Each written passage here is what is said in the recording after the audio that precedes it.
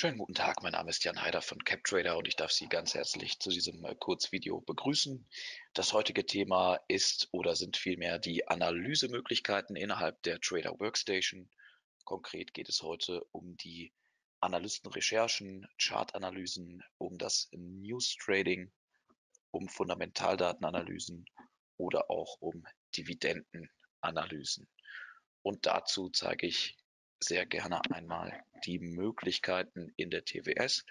Ich bin ja wieder im klassischen Trading in der leeren Watchliste und kann jetzt zum Beispiel mal einen bekannten deutschen Wert Adidas eingeben und nebendran gerne noch einen bekannten amerikanischen Wert wie zum Beispiel Apple, um das einmal zu vergleichen. So, wir fangen an mit der Analystenrecherche. Äh, das heißt, es genügt hier auf das Wertpapier einen Rechtsklick vorzunehmen. Dann hier am besten auf den kleinen Pfeil, der nach unten zeigt, drauf zu gehen, um alle Möglichkeiten wirklich sich anzeigen zu lassen. Und dann gibt es hier den Punkt Analyse Tools. Hier erscheinen dann weitere Möglichkeiten. Und ich führe hier gerne einmal den Punkt Nachrichten anzeigen vor. Es kommt dann ein weiteres Fenster auf, wo dann zum Beispiel hier Nachrichten drinstehen bezüglich Adidas. Also Adidas to close German US Robot Factories ist hier zum Beispiel eine Meldung vom 11.11. .11. oder dann ein Reuters Stock Report zum Beispiel vom 2.12. Also da gibt es in der jüngeren Vergangenheit dann eben die, die Pressemitteilungen oder die sonstigen Meldungen zu der Firma Adidas in diesem Beispiel. Und es kann ja auch konkret nach einem bestimmten Ereignis im Suchfeld gesucht und recherchiert werden. Außerdem gibt es die Möglichkeit, hier mit einem Klick wiederum auf Analyse-Tools und dann auf Analystenrecherche besteht die Möglichkeit, sich zum Beispiel externe Reports, wie zum Beispiel hier den Reuters Stock Report Plus, gratis herunterzuladen. Nach einem Klick auf denselbigen lädt der Report und ich kann ihn jetzt hier wieder äh, rüberziehen und zeige das auch gerne mal im Vollbild. Also dann gibt es hier zum Beispiel einen, einen Report, eine Analyse der Adidas-Aktie von Reuters, in der die Aktie auf einen Durchschnittsscore hier von 6 von höchstmöglichen 10 kommt. Und es wird hier dann auch ein Vergleich betrieben, zum Beispiel die Textilindustrie kommt im Durchschnitt auf 5,7. Also hier hat Adidas quasi eine Outperformance geschafft und hier die zyklischen Consumer Goods äh, oder Cyclical Consumer Products kommen auf 5,1. Das heißt, da ist Adidas sogar noch ein Stück weit besser. Außerdem gibt es hier oben dann noch ähm, Kennzahlen wie einen Return on Equity ja, oder, oder weitere Kennzahlen, die dann im Näheren noch weiter analysiert werden. Und es wird auch eine Empfehlung ausgesprochen, wie zum Beispiel hier halten, basierend auf der Meinung von 38 Analysten, die also diesen Wert Adidas hier begutachtet haben. Und dazu gibt es dann eben auf den weiteren Seiten, man sieht hier eins von elf Seiten, noch weitere Ausführungen, zum Beispiel eben bei den Earnings, Fundamentaldaten und so weiter gibt es hier einzelne Bewertungen, die dann eben in der Summe zu der Gesamtbewertung von sechs und insgesamt zu der Bewertung halten oder hold führen. Genau, und das ist ein, ein Beispiel von diesen externen Analysen, die hier unter dem Punkt auch verfügbar sind. Gut, bei den US-Werten, wie zum Beispiel Apple, gibt es hier noch eine Besonderheit. Und zwar wenn ich jetzt hier einen Rechtsklick mache und auf Analyse-Tools gehe und hier wieder das kleine Häkchen nach unten setze, dann gibt es hier den Punkt SEC-Meldungen. Also bei der SEC handelt es sich ja um die amerikanische ähm, Marktaufsicht. Ja, und hier kommen dann eben die Resultate, wenn man zum Beispiel Apple sucht von der Aufsichtsbehörde. Und hier sieht man dann eben die verschiedenen Informationen nochmal zu Apple, kann hier zum Beispiel auch nochmal sortieren und dann die Dokumente direkt vom Marktregulierer auch als Besonderheit nochmal im Original herunterladen.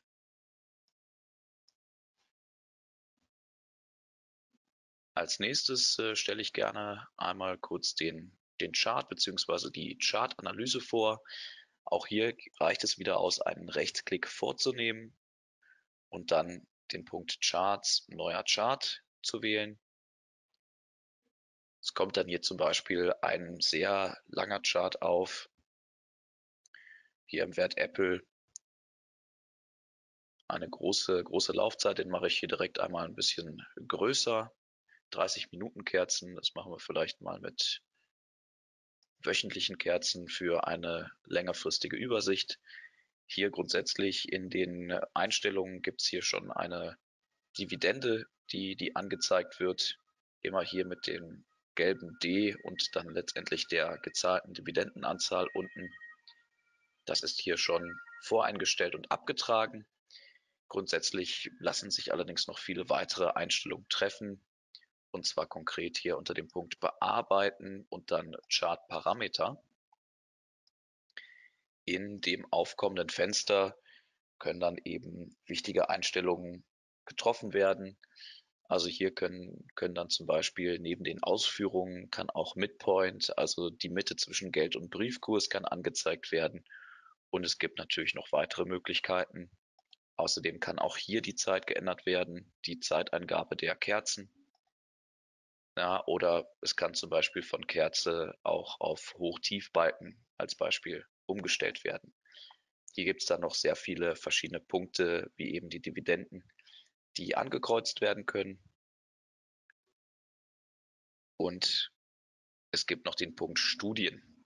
Und da zeigt hier schon der erste Klick auf das grüne Plus hier bei gleitende Durchschnitte und vielleicht auch noch der zweite Klick auf die zweite Rubrik, dass wir hier eben schon über 150 verschiedene Studien allein im Chart anbieten. Das heißt, es ist also eine sehr umfangreiche Chartanalyse möglich. Als kleines Beispiel nehme ich jetzt hier gerne mal die einfachen gleitenden äh, Durchschnitte hinzu. Da gibt es dann einen Zeitraum, der zum Beispiel eingestellt werden kann. Also ich nehme mal die 200-Tage-Linie und gehe hier nochmal auf Hinzufügen. Dann fügt ihr da nämlich noch einen zweiten Wert ein. Da nehme ich den Zeitraum mal 100, 100 Kerzen und dann äh, beziehungsweise 100 Tage und dann noch den Zeitraum 50. So, und diese Punkte können jetzt hier mit Übernehmen akzeptiert werden. Und dann werden eben diese beiden oder diese drei verschiedenen Indikatoren angezeigt. Und ja, grundsätzlich äh, können hier die, die Farben natürlich dann noch äh, geändert werden. Also indem ich hier dann nochmal auf Bearbeiten Chartparameter gehe und dann nochmal auf Studien gibt es hier zum Beispiel die Möglichkeit von Blau von Blau zum Beispiel mal auf Rot umzustellen. Der 100er, der 200er von Rot dann auf Gelb und der 50er von Orange auf Hellblau. So. Und hiernach genau erscheinen dann die Indikatoren in der entsprechenden eingestellten Farbe, sind damit besser zu unterscheiden. Und da kann eben der, dieser Durchschnittskurs dann hier im Chart angezeigt werden. Genauso kann ich hier einfach auf die Maus drücken und zum Beispiel mal ein Wachstum in dieser Periode hier einzeichnen von 24,44 Prozent. Ja, oder dann genauso hier wenn es bergab geht, dann eben ein Minus von 30 Prozent zum Beispiel hier an der Stelle kurzhand einzeichnen und diese Linien dann entweder einzeln oder insgesamt entfernen aus dem Chart. Genau, also da gibt es noch eine Vielzahl an Möglichkeiten. Eine zeige ich sogar gerne noch auf und zwar gehe ich wiederum hier auf Bearbeiten Chartparameter und diesmal in die Sekundärserie. Das heißt, wenn ich hier als Apple als äh, Basiswert, nenne ich es mal, habe, dann kann ich hier zum Beispiel Microsoft mit dem Kürzel MSFT hinzufügen und das Ganze übernehmen.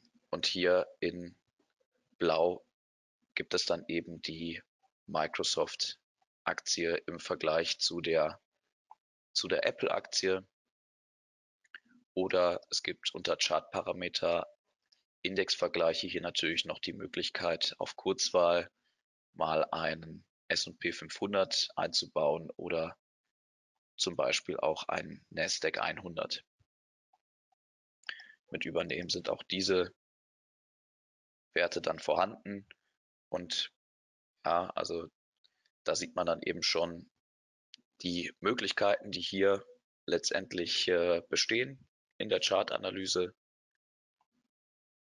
und ganz grundsätzlich können Sie natürlich dann oder kann man dann hier natürlich auch dann noch die Farben einstellen oder den Chart noch weiter skalieren, ja, um das Ganze dann noch, noch besser ersichtlich zu machen.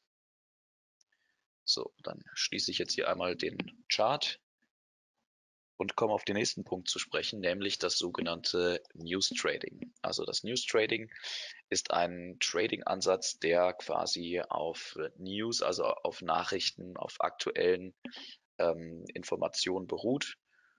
Und dementsprechend gibt es hier auch in der TWS den Punkt Nachrichten.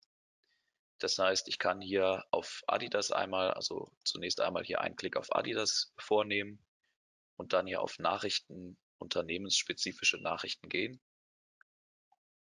Und dort kommen dann wieder die Nachrichten aus der Presse eben auf. Und auch hier gibt es dann wieder die Suchmöglichkeit. Genauso funktioniert es hier für den Wert Apple. Ja, auch da gibt es dann letztendlich nochmal Nachrichten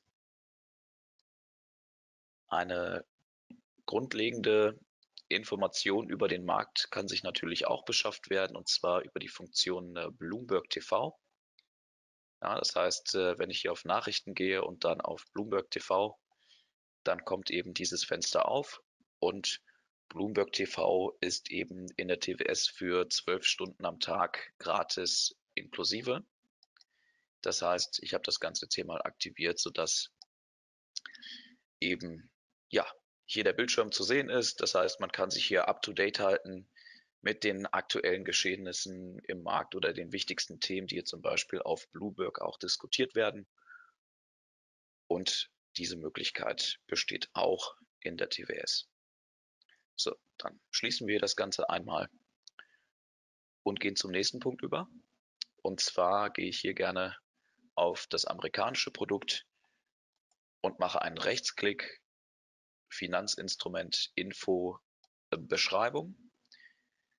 Danach kommt dann hier äh, dieses Fenster auf. Ich mache es gerne auch nochmal im Vollbild. Auf der linken Seite sind dann die Details abgetragen, also welche Handelswährung, US-Dollar natürlich, welcher Sektor, welche übergeordnete Branche ist hier eben für das Wertpapier verzeichnet. Wie sind die Handelszeiten, die regulären und die insgesamten Handelszeiten.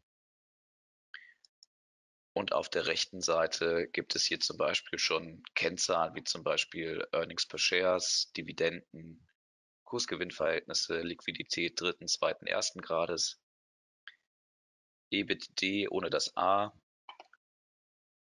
Netto-Gewinnspanne und so weiter und so fort. Und hier gibt es auch auf der Seite noch so ein paar blaue Links. Das heißt, da gibt es nochmal einen Schnellzugriff, zum Beispiel hier unter Finanzdatenübersicht. Wenn ich auf diesen Punkt gehe und ich mache das Fenster da, dafür hier noch einmal zu, dann kommt eben das nächste Fenster auf. Das heißt, es gibt hier nochmal eine Übersicht zu den Finanzdaten, zum Beispiel von Apple. Konkret wird hier Earnings per Shares angezeigt, ja, aus den letzten Jahren. Genauso kann man sich hier DVD, also die Dividenden anzeigen lassen und auch hier steht Ein Einkommen oder Einkünfte. Das sind also die Umsätze, ja, die hier in Orange dann abgebildet sind. Und das Ganze lässt sich hier dann eben immer nachverfolgen. Und da gibt es dann teilweise auch schon die ersten ja, Forecasts beziehungsweise ja, die ersten Analysten, die dann eben eine ja, Kennzahl oder einen Zielwert ausgeben für das kommende Jahr. Darauf gehe ich dann jetzt gleich noch näher ein, denn hier oben im Dropdown kann man noch eine ganze Menge ähm, mehr machen. Es gibt hier den Punkt Inhaberschaft. Das heißt, nach einer kurzen Wartezeit kann man hier tatsächlich die Anteilsauflistung von Apple sehen. Also hier kann eingesehen werden, dass zum Beispiel eine Vanguard Group aktuell 7% von Apple hält, BlackRock 5,95%, Berkshire 5,26% und so weiter. Außerdem gibt es hier die größten Insider-Aktionäre, die aufgeführt werden und ein Insider-Handelsprotokoll, was allerdings dann ja nicht so, nicht allzu weit zurückreicht und immer nur die letzten drei Transaktionen dann aufzeigt. Neben dieser Möglichkeit besteht auch noch eine Möglichkeit, hier auf Analysten-Ratings zu gehen. Das heißt, hier erscheint dann ein Bild von den verschiedenen Analysten, von den verschiedenen Menschen, eben zum Beispiel hier von, von der Citigroup ist es der Herr Jim Suva, äh, der zum Beispiel die Apple-Aktie trackt und diese dann bewertet, aktuell mit einem mit einer Empfehlung von Kaufen und dem Kursziel von 300. Das Ganze wurde von ihm wiederholt und zwar am gestrigen Tag. Ja, das äh, ist hier eben alles einsehbar und die kompletten Analysten von dem Wert Apple sind hier eben einmal aufgeführt und hier gibt es teilweise sogar noch eine persönliche Bewertung, zum Beispiel mit einer ja, individuellen Erfolgsrate. Das heißt hier bei dem Herrn Rob Hall von Goldman Sachs, der hat eine Erfolgsrate von 48 Prozent. Das heißt, 48 Prozent seiner Empfehlungen ähm, treffen. Das heißt, gehen in die richtige Richtung, in welche die Aktie dann auch gegangen ist. Und das gibt es dann eben hier für die aufgelisteten Personen. Genau, auch da wird dann eben eine Übersicht erstellt. Es gibt aktuell bei Apple 21 Analysten, die auf Buy, also auf Kaufen setzen. Elf sind für Halten, vier sind für Verkaufen. Daraus wird dann noch ein Szenario gebildet, also mit einem Normal Case, also Kursziel 254 da sind wir jetzt aktuell, dann einem Best Case von 325 und einem Worst Case von 150 US-Dollar. Immer noch natürlich mit den prozentualen Veränderungen hinten dran. Es gibt allerdings noch eine Übersicht zu den Analysten-Ratings in Klammern Details. Und zwar ist es auch ganz interessant, es gibt hier dann nochmal diese, diese Übersicht von eben mit den Einstellungen und dazu gibt es hier einen Nachrichtenstimmungswert. Das heißt, es gibt ähm, Nachrichten, die in den letzten Tagen aufgekommen sind und die werden hier teilweise eingeordnet, also entweder in neutrale Nachrichten oder hier in bullische, also positive Nachrichten oder auch in bärische, also negative Nachrichten. Das heißt, es gibt hier eine Anzeigemöglichkeit nur positive Nachrichten von Apple ja, die werden dann hier angezeigt oder nur negative Nachrichten. Ja. Das Ganze wird dann auch prozentual noch einmal bewertet. Und man kann hier sehen, dass also 79 Prozent der Nachrichten aktuell von Apple positiv sind. Das ist mehr als im Sektordurchschnitt das Ganze mit 66 Prozent der Fall ist. Also hier kann man schon richtig tief eintauchen in die Analyse beziehungsweise in die aktuellen Nachrichten und kann hier tatsächlich auch News Trading betreiben sozusagen. So, dann kommen wir zum nächsten Punkt. Es gibt hier noch ein paar Verhältniskennzahlen. Da gehe ich jetzt nicht näher drauf ein. Die hatten wir eben schon in der Übersicht. Und dann gibt es hier noch zum Beispiel eine Übersicht der Jahresabschlüsse. Aktuell hier 2019 mit den entsprechenden Vorjahren als Vergleich. Es gibt hier einmal die Bilanz auch anzuwählen. Dann gibt es hier die Kapitalflussrechnung mit den verschiedenen Cashflows und die Ertragsrechnung. Das heißt hier also die Kapitalflussrechnung beziehungsweise, Verzeihung, nicht die Kapitalflussrechnung, sondern der Jahresabschluss mit den verschiedenen Kennzahlen für die vergangenen Jahre. Okay, dann kommen wir last but not least auch noch zu einer kurzen Übersicht zu den Dividenden. Und zwar bleibe ich da gerne kurz auf Apple. Mit einem Rechtsklick und dem Punkt Dividendenplan kann ich mir hier nämlich eine Übersicht aufrufen. Zwar gibt es hier nicht nur die, die anstehenden Dividenden, sondern zunächst mal die historischen Dividenden. Das heißt, bei Apple kann ich hier schon sehen, 1, 2, 3, 4 das heißt, ich habe hier über die letzten Jahre immer vier Dividendenzahlungen gesehen und es kann eben von 2015 bis 2019 hier schön gesehen werden, dass die Dividenden immer linear sozusagen, oder nicht linear, aber dass die immer ein Stück weit gestiegen sind. Also es gab hier angefangen von 47 Cent pro Stück dann bis 2019 77 Cent äh, pro Stück schon eine gewaltige Änderung der Dividende. Immer ist hier natürlich auch das Ex-Dividendendatum, das ja entscheidend ist äh, für das Bezugsrecht oder das Recht überhaupt die Dividende zu erhalten, aufgeführt. Und auch da sieht man eben eine gewisse Regelmäßigkeit natürlich. Und hier ist dann das Zahlungsdatum auch abgetragen. So, unter anstehend gibt es dann die ja, erwarteten Dividenden, so kann man sagen. Also für 2020 und für 2021 werden hier wiederum vier Dividenden pro Jahr erwartet. Und auch hier geht man von einer leichten oder moderaten Steigerung dann aus von insgesamt vier Cent und auch das kann hier also eingesehen werden. So, das war ein kleiner Einblick in die verschiedenen Analysemöglichkeiten. Das heißt, Sie haben also sehr, sehr viele Chancen und äh, sehr, sehr viele verschiedene Bereiche, die Sie in der TWS äh, letztendlich ansehen können. Ja, das soll es von meiner Seite dazu jetzt gewesen sein. Vielen lieben Dank für die Aufmerksamkeit.